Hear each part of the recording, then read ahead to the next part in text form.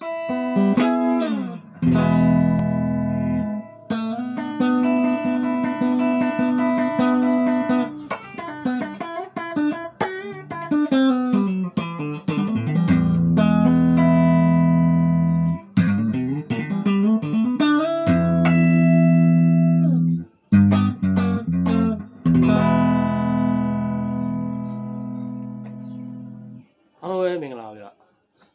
ဂဒါဝါသနာရှင်တွေအတွက်ကိုကော့12ကော့လုံးရဲ့ major တွေ minor တွေနဲ့ပတ်သက်တဲ့အကြောင်းလေးကိုမျှဝေပေးခြင်းပါတယ်ခင်ဗျအဲ့တော့အဲ့ဒီကော့12ကော့လေးမှာဥပမာ C D E F G A B ပေါ့အဲ့ခုနှစ်ခုထဲမှာဂျားရအတန်တွေဆို flash အတန်တွေပါတာပေါ့နော် major ပဲဖြစ်ဖြစ် minor ပဲဖြစ်ဖြစ်ပေါ့အဲ့ထဲမှာမှ flash တွေမပါတဲ့ထဲမှာ C D E F G A B ပေါ့အဲ့မှာဆိုလို့ရှိရင် E နဲ့ F နဲ့ကကတ်ရရှိတယ် B နဲ့ C နဲ့ကကတ်ရရှိတယ် half တုံးပေါ့နော်ကျန်တဲ့ဟာတွေကတော့ဘာအပြည့်ဟို note တုံးတုံးတုံးနှုတ်လုံးတုံးလုံးကြီးကြော်သွားတယ်ပေါ့ဘာအပြည့်အပြည့်ရှိတယ် E နဲ့ F နဲ့ကကတ်ရ half တဝက်ပဲရှိတယ် B နဲ့ C နဲ့က half တဝက်ပဲရှိတယ်နှုတ်နဲ့တွက်မယ်ဆိုရင် mi နဲ့ fa နဲ့ t နဲ့ do နဲ့ပေါ့အဲ့တော့ကျွန်တော်ဒီဘော်ဒီယာတစ်ခုကဒီ flat တန်မှာ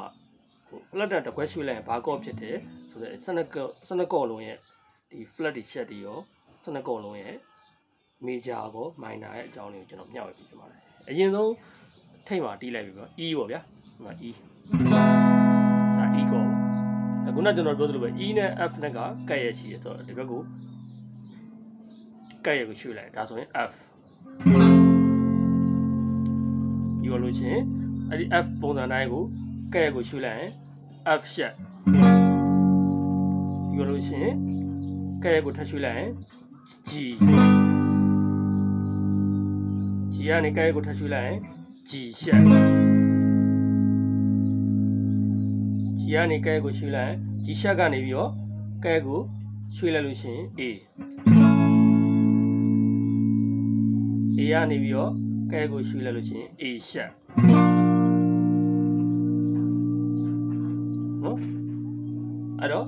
အဲ့ဒီ A ရှက်ကနေပြီးတော့ကက်ရက်ကိုရှူလိုက်ရင် B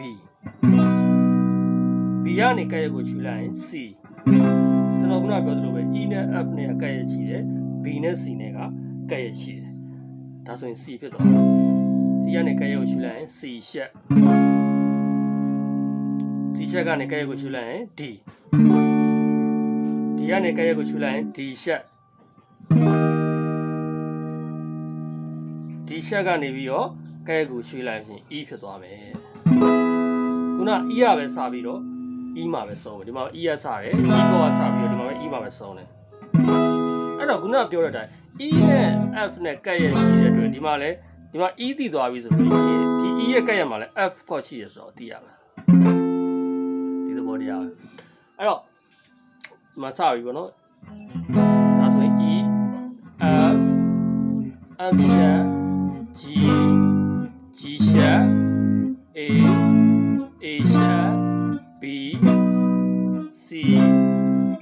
C ရှက် D D ရှက် E ကဲမှာ F ရနော်ဒီလိုတရားပဲရှက်ဒီကိုတီးပါဒါ major တွေပေါ့ flat နဲ့ပြန်တွက်မယ်ဒါဆိုရင် E ပေါ့သူကဒီအနောက်ကနေဒီလိုမျိုးတွက်လို့ရှိရင်သူကဒီကော့ရဲ့ရှက်တီလို့တော့ယူတယ်အဲ့တော့ကော့ရဲ့အနောက်ကဟာတွေရှက်လို့ကောဂျားတန်တွေအဲ့တော့အီကောကနေပြီးတော့ဒါဟိုဘက်ထိပ်ကိုပြန်သွားမယ်ပေါ့ ခုနကတော့ဒီကနေပြီးတော့ဒါဒီရွှေ့လိုက်ဟိုကက်ရက်ကိုချူလိုက်ရင်ဒီရှက်ဖြစ်တယ်ပြီးတော့ E ဖြစ်တယ်အဲ့တော့ E ကနေပြီးတော့အရင်သွားတဲ့အချိန်ပြန်တော့ဒါဆို E flat နဲ့ပြန်တော့ major flat ပဲဒါဆိုလို့ရှိရင် E flat ဒါဆိုရင် D D flat C B B flat A flat G G flat F E ဒီသဘောတရားပဲဂျားရဟာတစ်ခါလေကြောက်လို့ရှိရင်တချင်းဆောင်တယ်မှာပဲဖြစ်ကော့တယ်မှာရှက်နဲ့ flat နဲ့အတူတူပဲဥပမာဆိုလို့ရှိရင်ဒါဆိုဒီ F ကနေလို့ဒီဘက်ကိုရွှေ့လို့ရှိရင်ဒါဆို F ရှက်ပေါ့ဒါပေမဲ့ तू ကသူ့ရဲ့အခေါ်က F shot ဖြစ်တယ်လို့ A ကောရဲ့ခုန A ကော A ကောကနေ A ကောရဲ့အရှိမဖြစ်တဲ့အတွက် A flat လည်းဖြစ်တယ်ဒါဆိုရင် F ကောရဲ့အနောက်မှာဖြစ်တဲ့အတွက် F sharp A ကောရဲ့အရှိမဖြစ်တဲ့အတွက် A flat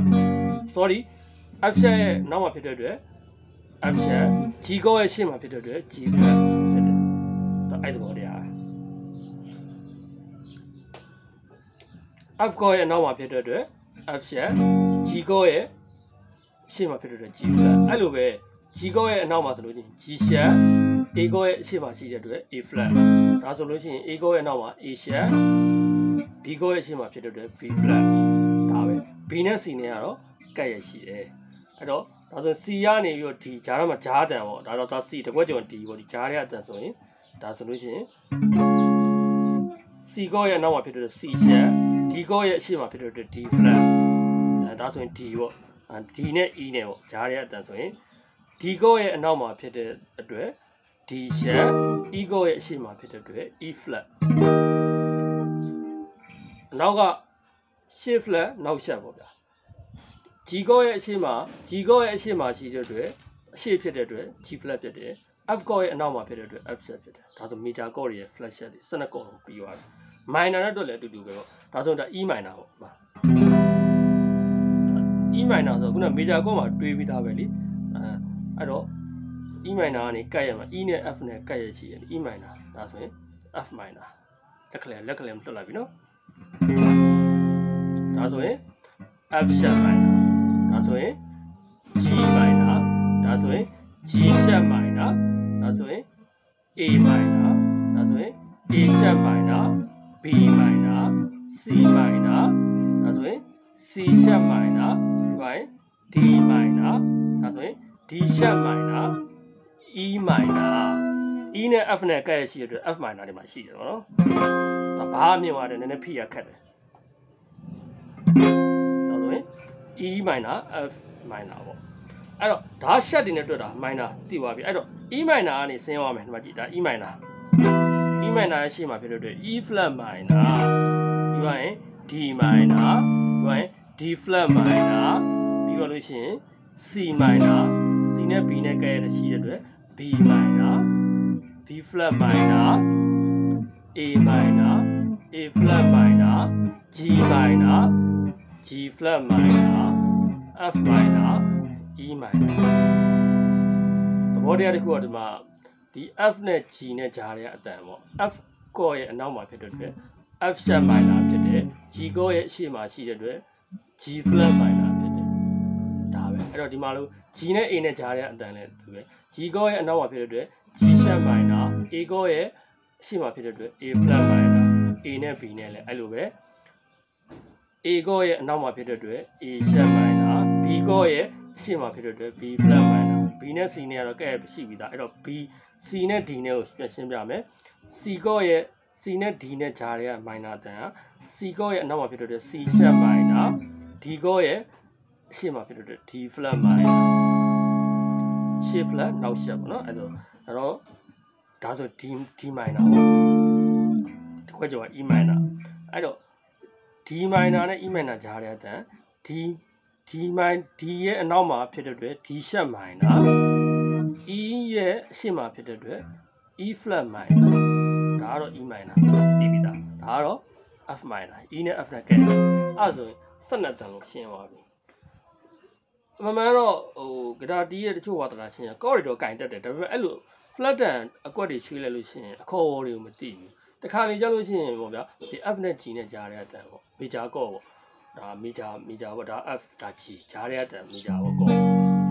F ချက်လို့ရေးထားတယ်သူသိတာ G flat ပဲလေ့လာတာလေဆိုလို့ရှိရင်သူဘာကန်ရမှန်းမသိဘူးအမှန်မှန် F ချက်နဲ့ G flat နဲ့အတူတူပဲတခါတချို့ကြောက်လဲ G flat ရေးထားတယ်သူသိတာ F ချက်ကိုပဲသိတယ်အာ G flat နဲ့ F short F F ချက်နဲ့ဟိုအခေါ်နှမျိုးဖြစ်နေတာ